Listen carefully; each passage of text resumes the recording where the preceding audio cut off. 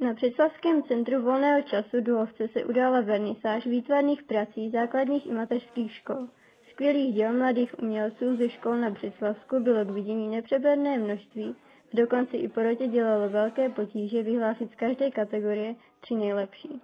My jsme vyhodnocovali s tak těžkým srdcem, jsme se kolem pohádali několikrát, Návštěvníky krom nádherně zpracovaných děl čekalo i něco teplého na zahrátí a občerstvení v podobě vánočního cukroví. Krom dětí se vernisáž líbila i rodičům mladých talentů. Vzhledem k tomu, že tady můj syn získal ocenění, tak určitě se mi tady líbilo. Myslím si, že je dobře, že někdo dělá takové akce pro děti, takové výtvarné. Práce jsou krásné, jde vidět, že děti mají fantazii, takže jedině víc takových soutěží. Celá akce si i přes mrazivé teploty vyžádala hojnou účast, na které nechyběl ani místo starosta města Břeclavy, který osobně předával ceny dětem.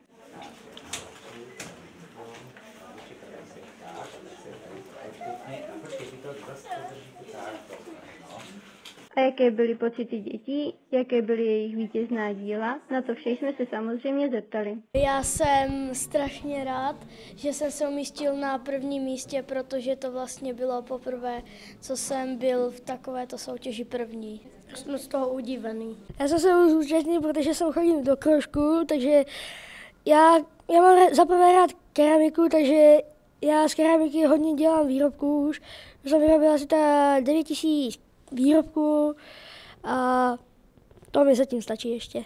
A jak dlouho sem chodíš do toho kroužku? Asi tak dva roky.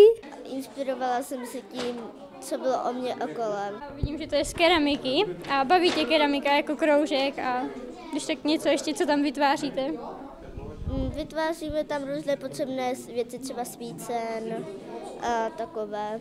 Výstava se konala i na půdě, kde se odehrávala jedna z nejzajímavějších částí, a to s názvem Retro Tempus. Já bych vás chtěla tady přivítat na naší stále výstavě, která se jmenuje Retro Tempus.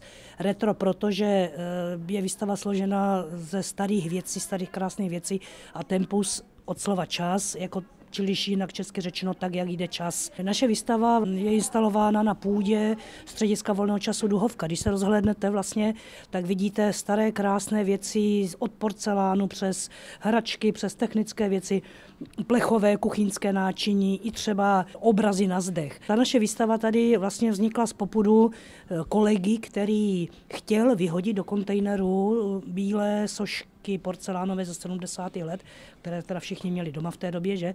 No a teď jako slovo dalo slovo a najednou že děti z kroužku nám nosili, co e, prostě maminka, babička na té půdě našla.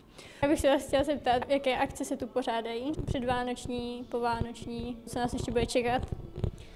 dělání věnečku, děláme různé Mikuláše pro toho, kdo si zažádá, tak rádi dojdeme udělat do mateřské školky nebo pro nějaké firmy.